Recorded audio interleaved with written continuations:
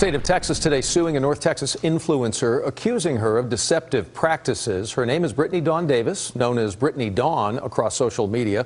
She sold workout and diet plans. We have reported on her in the past after a lot of complaints back in 2019. The lawsuit I speak of says that Davis did not provide personalized plans, failed to follow through on follow ups and check ins with clients. It also lists complaints from customers, including how one woman almost passed out from inadequate nutrition. Clients also complained of issues getting refunds. The state is seeking between 250,000 upwards of a million dollars in penalties as well as court fees. Yes, we are going to be talking about Miss Brittany Dawn Nelson today. Hold on to your seats, y'all, because it's going to be a wild ride.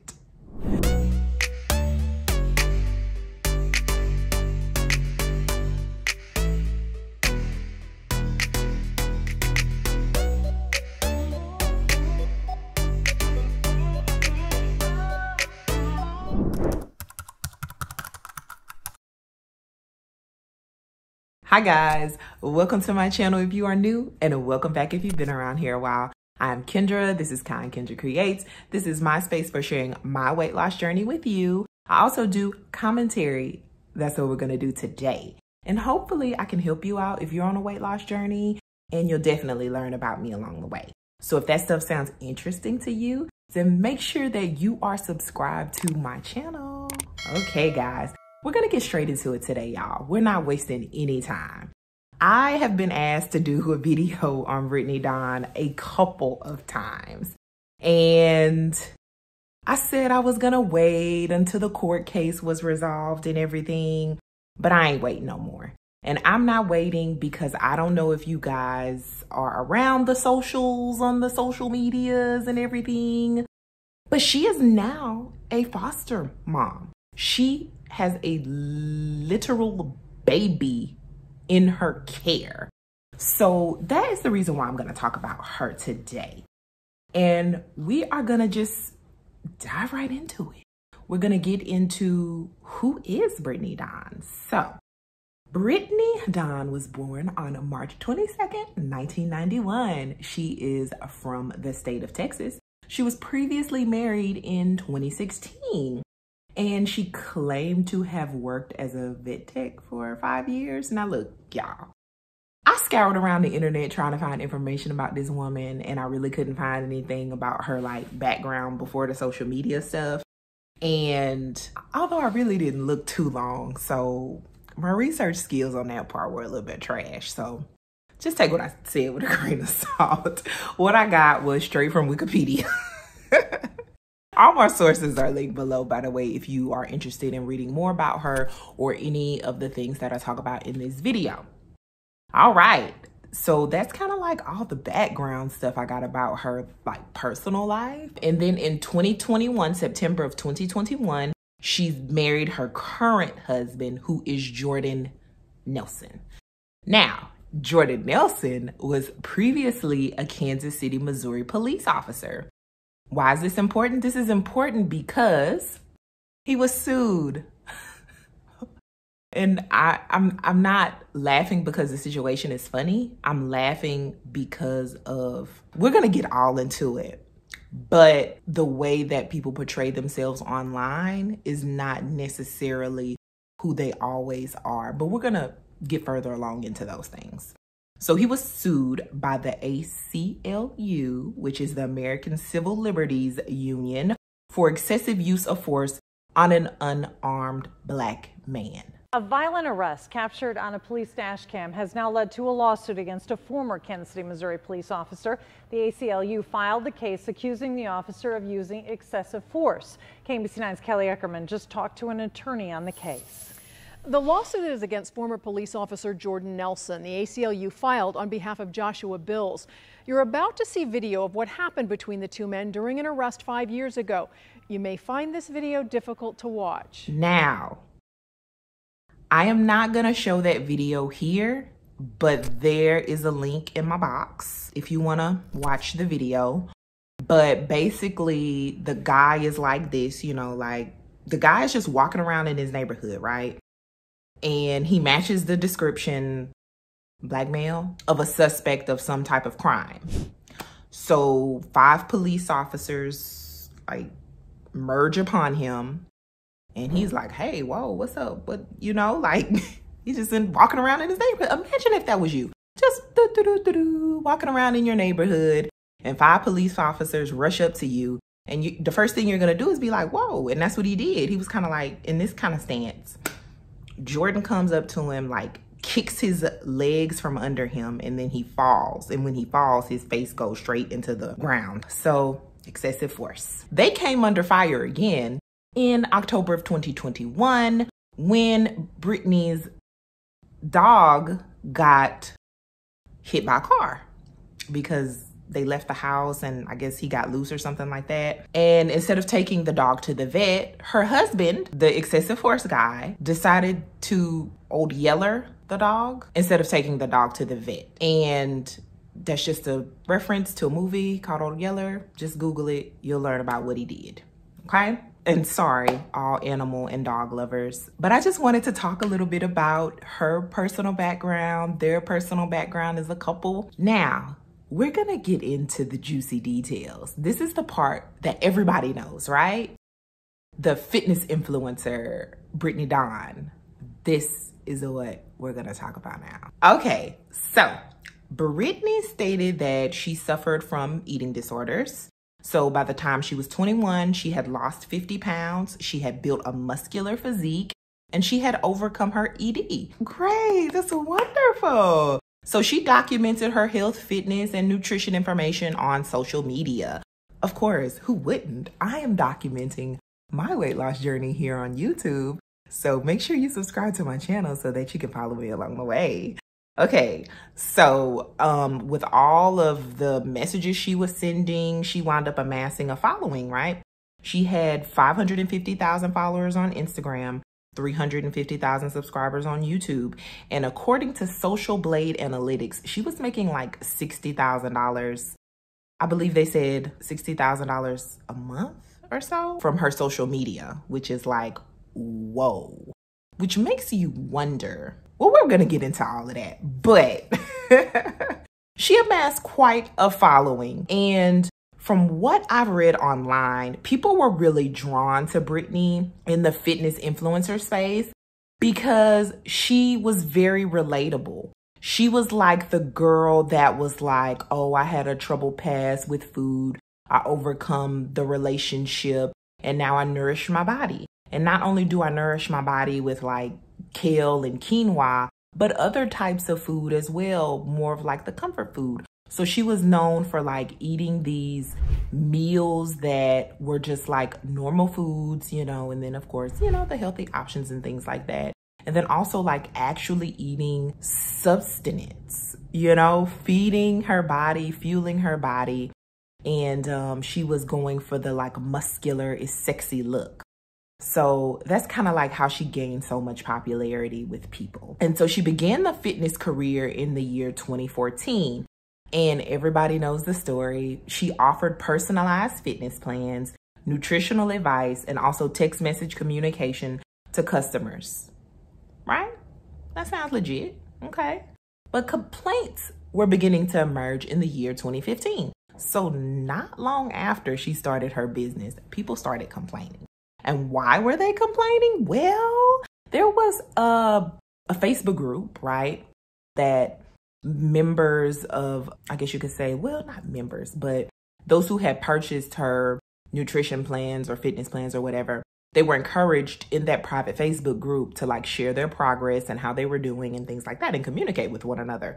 So within their communications with one another, they realized that they had the exact same plans. Now, these are supposed to be personalized plans, which means that it's going to be for your height, for your weight, for your age, for your fitness goals, for your nutrition uh, goals. Uh, and it varies so much, y'all. It's a lot of work, and I know it is. And I say that because there is a um, bodybuilder on YouTube, and she does kind of like reaction, kind of commentary stuff. But she's also like a fitness trainer person, and she helps people out. Chikara Transformations. I believe she only takes on like 10 clients at a time. So she's legit like she said I can't take on any more than that because she literally doesn't have time to. So it's a lot.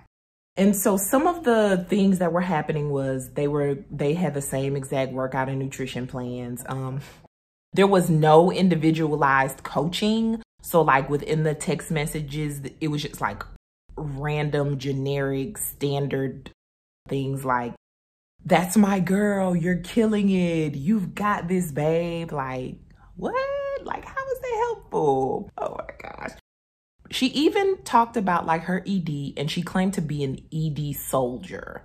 And she claimed to have overcame her own ED, which gave off the vibe that she knew what she was talking about in regards to working with clients that had these certain issues. There was even one woman who like made that very known in her customized nutrition plan. Like, I suffer from ED. I need to increase my caloric intake. You know, this is one of the things that I want to do for my plan. And it was not done for her. And it makes me just feel so much empathy for these clients who were deceived. These people were deceived. They were. Like, you can't say that they weren't. They were deceived. If I pay a pretty penny for personalized coaching, I expect personalized coaching. You say that you're going to text me, I expect a text from you. It could be from your team, that's fine. But it needs to be personalized, right? And you know, it's funny because once again, in my research, scouring the web and everything, I didn't see where she had any types of personal training certifications or any of that. And we already know she's not a registered dietitian because we know that we need at least a bachelor's degree. I believe they're changing the requirements to a master's degree. Yeah. Mm-hmm. And you really can't be giving out that type of advice that you're not qualified for because what you're going to do is you're going to find yourself in a lawsuit. And so that's what eventually happened. But we'll definitely get there. So there were nearly 4,000 people that joined a private Facebook group called Brittany Dawn fitness complaints, and they openly shared their experiences. Not only that, there was a change.org petition signed with 10,000 people that wanted to dissolve the Brittany Dawn fitness brand. And of course, her social media began losing thousands of followers. And then in February of 2019, she did like all social media influencers do. They go to their social media and they make an apology.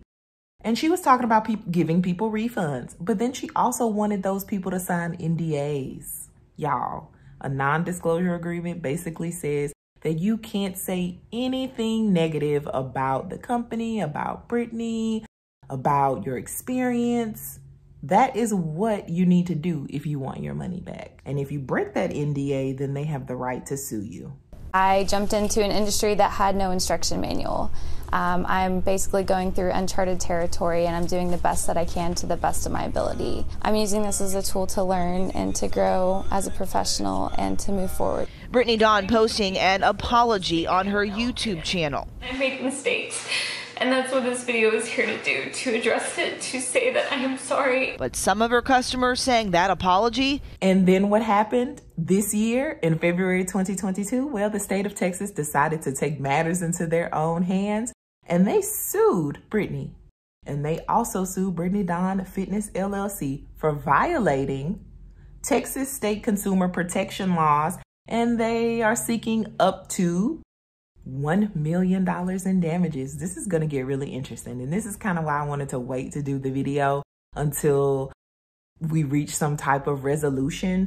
Right now, she's kind of stalling with the whole lawsuit thing. I believe Carmela, a creator here on YouTube, like went through those proceedings and she talked about it. They were over Zoom and they were made public and it was very just interesting seeing how she was just sitting there quiet, not saying anything there was no response from her attorney, like, and they had time. So they gave him some more time to answer the complaint. But they have right now like no records of like the customers or like how much they paid or anything. Y'all, it's a mess. But I have a link to the lawsuit below. So if you're interested in checking all that out, that is to be linked in the description box. And what makes matters worse is, y'all, her company was no more in 2019, right? Tell me why she received $20,000 through the Paycheck Protection Program during the COVID 19 pandemic for a company that was no longer.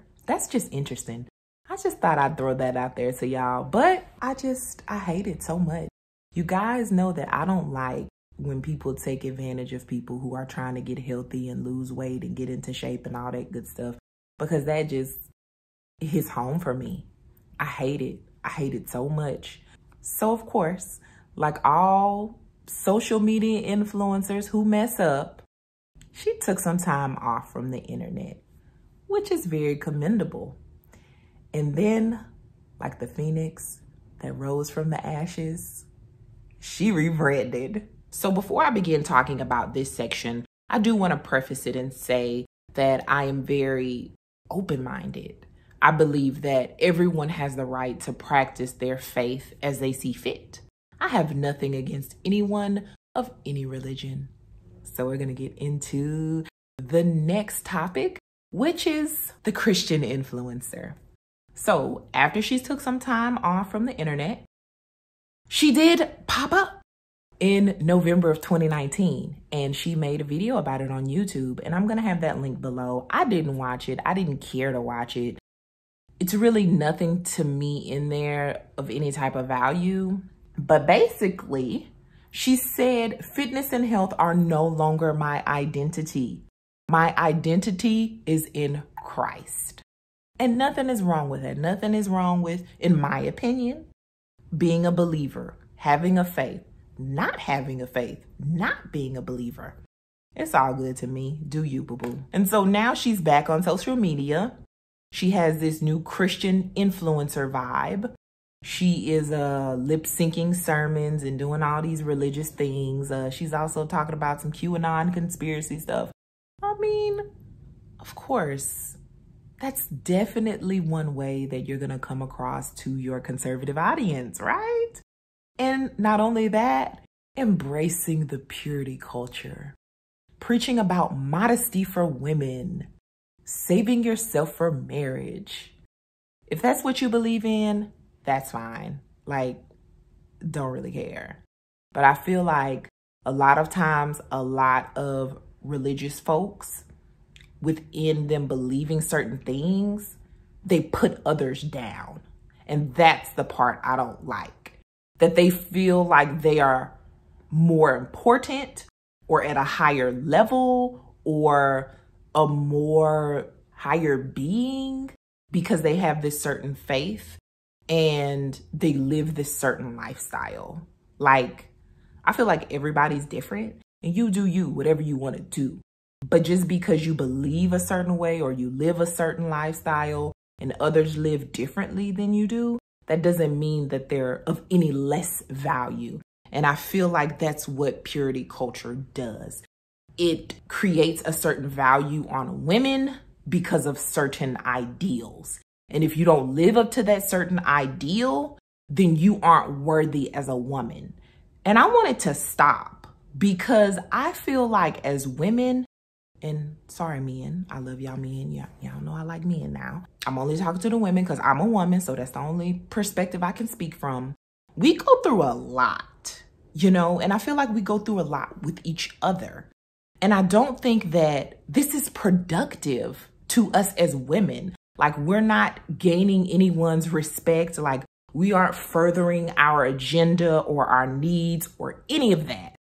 And I feel like honestly, a lot of it is taking a step back because a lot of the women in her Facebook group now that she has as the Christian influencer, a lot of those women are suffering. A lot of those women are in pain. A lot of those women need real help, you know? They need real like social service counsel social services and counselors and things like that because a lot of them are in DV type situations from the things that I've read.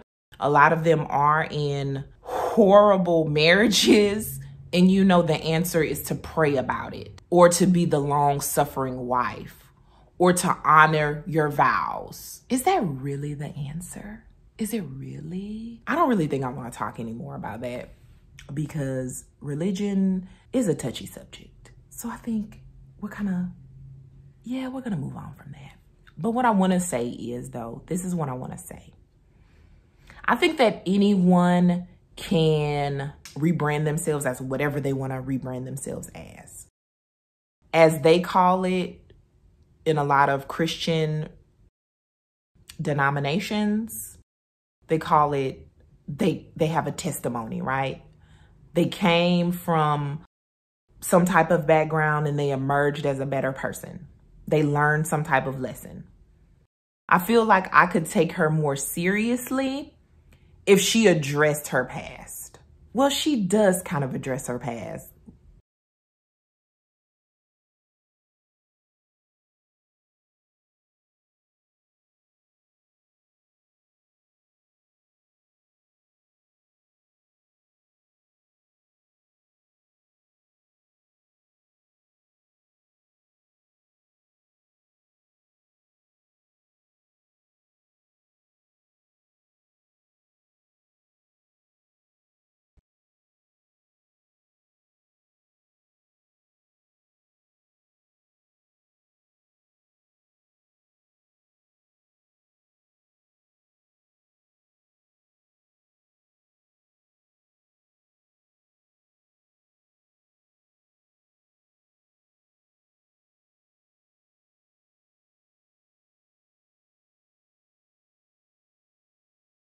That's not the past that I want her to address. I want her to address how she scammed all these people out of their money.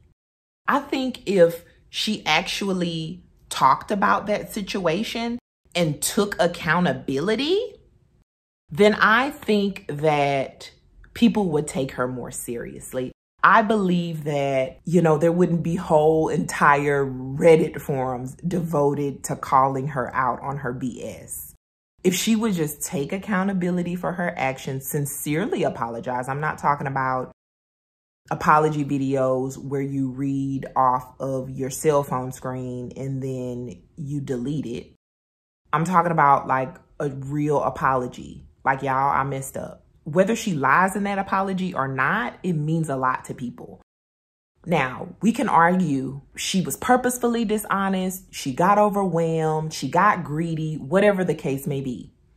If it comes from the heart, she acknowledges it, she actually takes responsibility, and she pays up, I think people would be more accepting of her than they are now. Although she has quite a following. From what I've saw, yeah, they say here that she has over 1 million TikTok followers and 460,000 Instagram followers. So they're very they're they're they're very interested in this Christian influencer arc. They're so interested. She actually did create her own Christian ministry. She lives freed. They host conferences and retreats. From the information that I found, the conferences or the retreats that they were for one day, they're $125 for a ticket.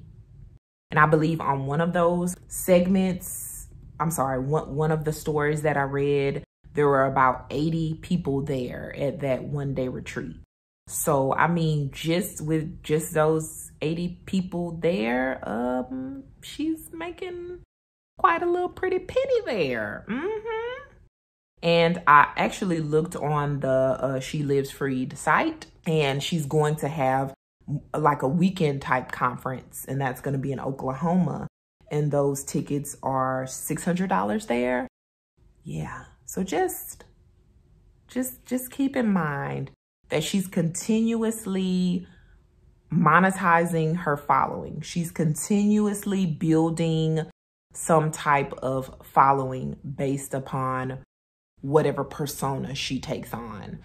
And within one of the articles that I read, there was a good, and I'm going to have all the links below, y'all. So please don't think I'm just pulling stuff out the sky. I really liked what this writer wrote. For an influencer wanting to rebrand themselves after a scandal, religious content taps into the good faith of forgiving people and doesn't require years of schooling, just passion and confident delivery that you have received messages directly from God. Which makes me wonder like anybody can be a religious leader. You don't have to have any type of divinity schooling, any type of formal training, anything. The only thing that you really need is a following. Guys, uh, we just got home from Colorado yesterday and we just got our first phone call with foster baby. And our whole world's about to flip upside down and I'm so excited. And I'm crying because like wow, we get to love a little baby. Wow. Y'all pray for us. I'm nervous, excited. Jordan's literally rushing home so we can get just things set up. Not that everything's not already set up, but you know, just. And now we're to talk about basically the reason why I did this video. Okay. because without the foster mom, this video would not exist. Okay, I'm gonna get into it, right? Right, right, right. so Reddit is a wild and wonderful place. And Reddit is basically where I got all my information from this segment of the video. I do want to give a big shout out to Brittany Dawn Snark. That is the subreddit that I got this information from. Um, so hopefully some members are watching this video, hopefully. And I just wanted to make that known um, because I also did get a, they, they shouted them out. There was a um, article from the Insider and I'll have that link below too. They shouted them out there. I wanted to make sure to shout them out by name because it's very important that you give your sources of information where you got your information from. Some groups like to be more low key and then others are you know, a little bit more publicly known. And so this one was in the insider article. So I wanted to make sure that I gave them full credit for all of the information I'm about to talk about now. So that insider article does talk about uh, Brittany and her fertility struggles, which she has been open with on her social media. She had a chemical miscarriage in April. In July, she announced her desire to stop fostering. And in October, she suffered another miscarriage, which is very unfortunate. I do not wish that type of stuff on anyone at all. So, just earlier this week, she did announce that a foster child was placed with her. And since then, she's been under major scrutiny, y'all. So, what is the first thing that you do when you get your baby? What's the first thing that you do? What's the first thing that you do? You update your Instagram bio. that was literally like the first thing that she done. Now, I can think about when I first gave birth, I was not interested in social media. I probably, I know I sent photos to my family and everything, and it was announced. And I probably maybe posted a photo a couple of days later or maybe the next day. But y'all, y'all know if y'all ever given birth, y'all know you just tired, man. You just tired. She also went to the gym. Like it was so crazy how she went to the gym. And I get understand you want to keep healthy, you want to exercise. That's something that's important to me. I try to get in at least 3 to 5 days a week, but I just don't know if that would be my priority as a child is placed in my care. I just don't think that would be, especially the fact that I never had children before. So this will be my first foster parent moment and my first foster child. Like, I'm just to be like, oh my gosh, like, what am I doing? not to be at the gym, I can tell you that. And then, of course, she posts a photo of the baby. She blurs the baby's face out. And I'm pretty sure the only reason why she blurs that baby face out is because she's required to, um, because you can't share a baby's face, their name, or their address on any type of social media. I don't know why you put the address there, but you can't share that information about a foster child on social media. And this is probably like the worst thing ever that she did in her post, and I'm gonna read it word for word. Reality for the past 48 hours, it's so difficult being a foster parent to a child that is having withdrawals from substance abuse. It's heartbreaking, gut wrenching. These are things you don't truly process until you're in the thick of it. Having to watch a child shake uncontrollably from withdrawals, and there's nothing you can do to stop it. So you swaddle, hold them, and pray. You start feeling protective because how could someone do this to a child? Yet, I wouldn't change a thing. Foster care is a calling. It's hard, but the Lord is graciously guiding us every step of the way. The reality is we are exhausted, but I'm so grateful the Lord chose us to provide a safe home for this child. We adore this child. We with our whole heart already. I try not to think about the goodbye that could come at any time with one phone call. Lord, we know you are doing a good thing through all of this. You can restore and redeem anything. I hated that. I hated that so much for so many reasons. First of all, you're talking about your foster child's health. Like, don't do that. Like, why? For what? So you could get kudos online from your followers. Oh my gosh, you're doing the Lord's work. You're doing such an amazing job. Like, okay, I understand people get in some tough situations with their kids, and children may need a home temporarily to go to. That is wonderful that people are willing to do that, right? But are you really doing it for the right reasons? That's what I want to know. Is this just content for you? So not only is she talking about the withdrawal situation, and people online have said that there's no way that a child would be in that condition with a foster parent, like shaking uncontrollably. Like, especially with a first time foster parent, yeah, I would think that the child would be in good health and stable before they're released to a family. But I don't know nothing about that. I mean, y'all can comment below. Please let me know because I don't know nothing about that. Um, and then she uses God and Lord and all of this stuff a lot. So she's definitely pandering to her base. she's definitely doing that in this post. And not only that, she talks about the birth mother, I'm assuming. Because if this child is suffering from withdrawals, that means that the birth mother, you know, had a problem, you know, with some substances. And I didn't like that. I didn't like it at all. I didn't like it because instead of showing compassion about the situation, it was more of a judgment. But she's supposed to be the Christian and God can restore and redeem anything. But you want to talk about this child's birth mother. And then, of course, she goes in for those sympathy points when she talks about, I try to not think about the goodbye that could come in any time with one phone call. But you know that's coming. Like, you know, this isn't your baby. And the point of foster care is for reunification. That's the point of foster care. And you know that. Like, you know that. So why try to garner those sympathy points from your audience? Because they're saying, oh, well, you, this should be your baby, Brittany, because you're providing this safe home and you don't have a substance problem.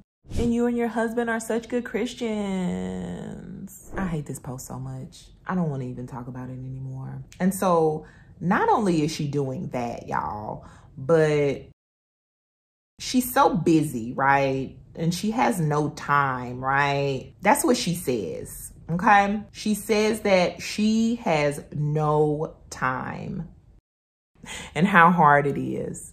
She makes the statement that she didn't even brush her teeth or brush her hair, but she has on makeup and eyelashes. I mean, her hair looks good to me. It looks like it was brushed to me. I don't know. I could be wrong. I could be 100% completely wrong. But within all of that, not brushing her teeth, not brushing her hair, being so exhausted, only getting three hours of sleep, she finds the time to argue with people online. So somebody wrote, Did the company do a background check? And she says, My background check came back perfect. Thank you. I'd be cautious believing everything you see about someone on the internet a gossip form, and especially manipulative news stories, but to each their own. And then she further goes on to, my tolerance is zero, yet years ago I allowed myself to be pummeled in the comment section of posts. And what I found is that apparently people think Christians are easy to walk all over. What they don't know is that they're mistaken. If you haven't noticed in the last year, the old Brittany that used to be a punching bag isn't here anymore. The, this new me, this Jesus version of me has a voice and a God given voice, one that is unwavering, unshakable, and could only come from the Lord. And my confidence, that comes from the Holy Spirit inside of me. You see, Jesus was kind, meek, and gentle. Yes, but Jesus wasn't a pushover. In fact, he was the complete opposite. He spoke boldly. He flipped tables, and instead of bowing to man's opinion of him, he confronted the accuser head on with the utmost grace. And he gives us permission to do the same thing when we walk in obedience. And he releases us to do so. I've got a lion with fire in his eyes behind me and all of heaven backing me up. But you know what? You're right, Brittany. You're right. You do have the right to confront your accuser. You know, you do. Because the state of Texas is doing that for her accusers. They are, you know. Texas sometimes, well, a lot of times they don't get things right, but they got it right with this one. And I'm wishing the state of Texas much success with their lawsuit. I don't know what the purpose of this long post was, but you don't have time to brush your teeth. You don't have time to brush your hair. You only get three hours of sleep. But yet and still, you write this long post because someone asked about a background check. And I think that everyone should be concerned with a background check for a foster parent. You know, you have one person that's being sued by the state of Texas. You have one person that's being sued by the ACLU, excessive force, scamming. They're foster parents, y'all. They're foster parents. And how do I know that she is really trying to milk this thing for all it's worth? Is she is fully on her mom fluencer tip. She has all these links here to things that people can buy. You know, the affiliate links. I've talked about that in my videos before.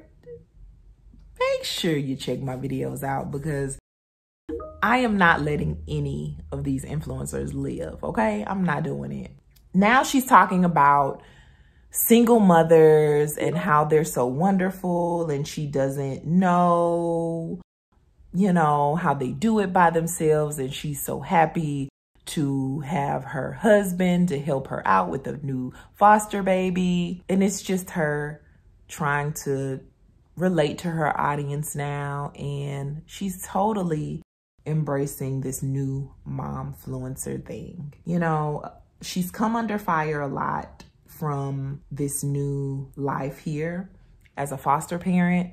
And I think that people have the right to be skeptical about it based upon her scamming past, based upon her being a Christian, but not taking accountability for the mistakes that she's had in her past. I really think that it's sad that you want to question the motives of a foster parent, right? Because you say they're doing such a great deed. But in this day and age, you kind of have to. I want to share something that I also saw from the Dad Challenge podcast. I know this is a hardline stance, but if you're an influencer like Brittany Dawn, you need to be denied the ability to foster adopt kids because those kids don't get the choice to have their whole lives shared on the internet.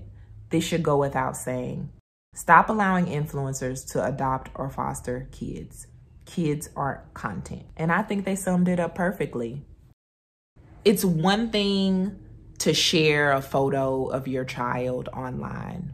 You know, like, oh, it's Christmas, they're opening the presents, yay. That's one thing. But then there's another thing for every other post to be about your kids. Every single moment of their life is on the internet. Like, I'm laughing, but it's awful. Like, even biological children of these influencers, like, they don't have a choice. And it's not like they're a child model or they're a child actor. Believe me, those industries, they have their own set of issues. But those kids, they actually get paid, right? But these kids, they're never to see a dime of this money. Like, I mean, you know, like some people are responsible with their money and, you know, blah, blah, blah, blah, blah. But this money that their parents are making as content creators, it's not the kids' money. And we need to have like so much more oversight into this stuff because these kids are suffering.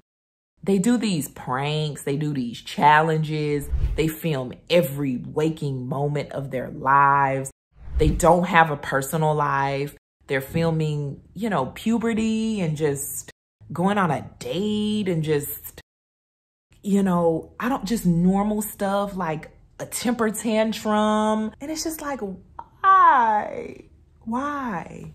Why? It's one thing for a child to be of age and, you know, they want to make little silly TikTok dances or whatever. You know, it's like, that's what all teenagers do. Okay, they make little silly TikTok dances. But like, why do you want to have your young children on the internet constantly? And not only that, there are some content creators out there that know, 100% know that their children are on inappropriate sites or there are people making inappropriate co comments about their children and they continue on. I just wish that I could give her the benefit of the doubt, but I don't. I don't. Based upon her past, based upon her present, I don't. And I and I really hope that this is totally off topic for me about kids on the internet. but I would hope that everyone reconsiders having their child on the internet in such a large capacity to where it could possibly affect their childhood, affect their future, and just affect their lives and their overall development. But I feel like eventually we're to see some of these stories start coming out about how, you know, influencer children were treated and everything. We're already kind of seeing it with Kate Gosselin's son, you know, Jon and Kate plus eight. Oh, that poor baby. Oh, God. Mm, mm, mm. If you haven't heard about that story, go ahead, look it up, read about it or whatever. But he was put in like an institution and they have her like old diary entries where she did not treat him good as a parent. And I just feel like it's totally not what a parent does. Because I feel like your first instinct as a parent is to protect your child at all costs. Like, that's what my instinct is, is to protect my child at all costs because he did not ask to be here. That is my 100% sole responsibility. And I feel like a lot of these influencer children, they're not being protected. Somebody has to protect them. You guys, I know it ended really heavy. I hope you like this video and I hope you keep watching, y'all. Make sure you're subscribed to my channel if you are not. And as I always say, make sure you continue to spread kindness in a world full of hate. And I will see you guys next time. Bye-bye.